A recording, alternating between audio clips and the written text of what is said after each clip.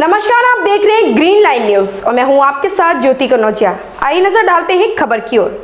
अवैध 27 नग गांजा का कच्चा हरा पत्ती वाला पौधा करीब 5 किलो 600 ग्राम कीमती अट्ठाईस हज़ार रूपए सहित आरोपी गिरफ़्तार। बेमेतरा जिला ब्यूरो सोमेश्वर खरे की खास रिपोर्ट। बेमेतरा के नवागढ़ ब्लॉक के अंतर्गत आने वाले ग्राम पंचायत गोड़ी कला में मुखबिर की सूचना पर नवागढ़ पुलिस की पूरी टीम पहुंचकर तलाशी अभियान की गई।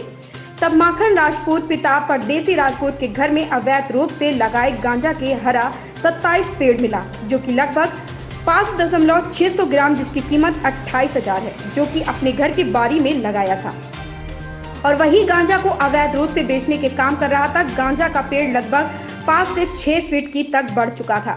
देखने पर चल रहा था कि वह पेड़ कई वर्षों से लगा रखा था। 27 पेड़ हरा गांजा जब्ती कर 20 एएनडीपीएस के तहत कार्रवाई किया गया। नवागढ़ पुलिस टीम द्वारा इस सहायनीय कार में थाना प्रभारी आरपी सिंह, एसआई घनश्याम चिड़ा, प्रधान आरक्षक मोहन साहू, आरक्षक राहुल दुबे हेम प्रसाद साहू, केशव विश्वकर्मा, खुलेश्वर, गायकवाड, पूरी टीम की महत्वपूर्ण कार्य रहा